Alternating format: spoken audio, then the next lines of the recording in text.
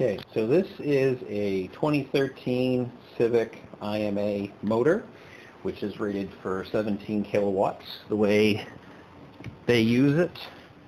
Um, it has these bolts all the way around the perimeter.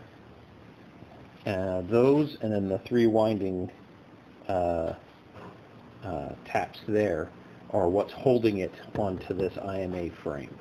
Um, so the the, the uh, commutator for this one is a separate piece. That, um, so I'm going to uh, undo those to be able to remove it from this housing.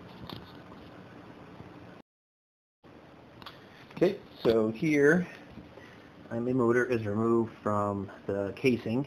Um, so we have the stator, of course, on the outside, and the rotor, the part that rotates, on the inside. All those little bolts off, with those off, and the connection three uh, winding disconnected. It just comes right out. There's no adhesive or anything. On the housing, there's a point here and here that are raised up. Those are little little lo- locators um, for whenever they're putting it in. And that's about, it's straightforward, needs to come out. So here is the 2000 Honda Insight. Um, this is from a 2006, um, actually, but it's that same Gen 1 um, 10 uh, kilowatt IMA electric motor. Um, here you can see the three uh, position or commutation sensors and the little plate on the flywheel that gives it orientation for the electric motor. That's on this side that goes to the transmission.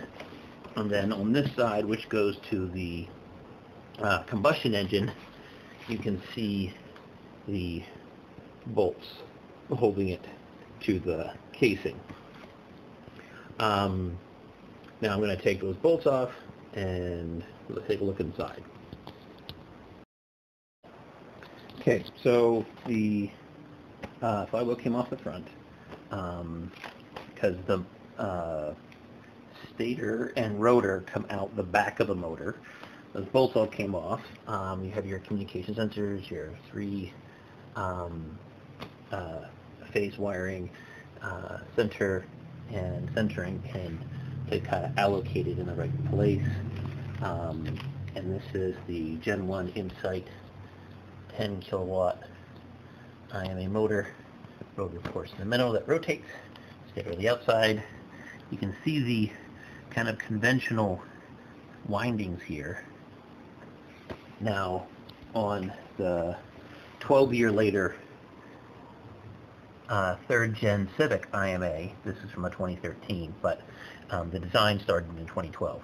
Um, you can see it's a square um, winding, which improves the fill factor. You have less dead space between the round surfaces of a conventional. Um, and there,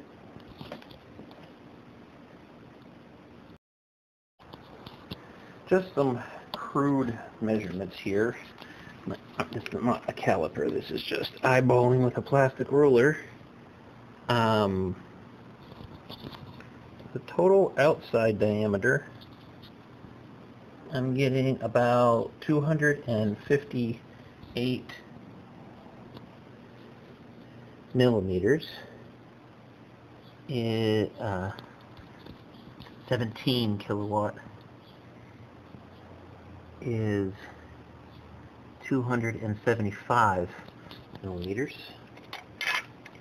The rotor here on the inside of the Insight is about, again this is eyeballing with a plastic ruler, about 167 millimeters. On the 17 kilowatt third gen Civic IMA motor, that rotor um, diameter, again, plastic roller, blah, blah, blah, is about 152 millimeters. Again, this is crude, basic plastic ruler eyeballing, but I'm seeing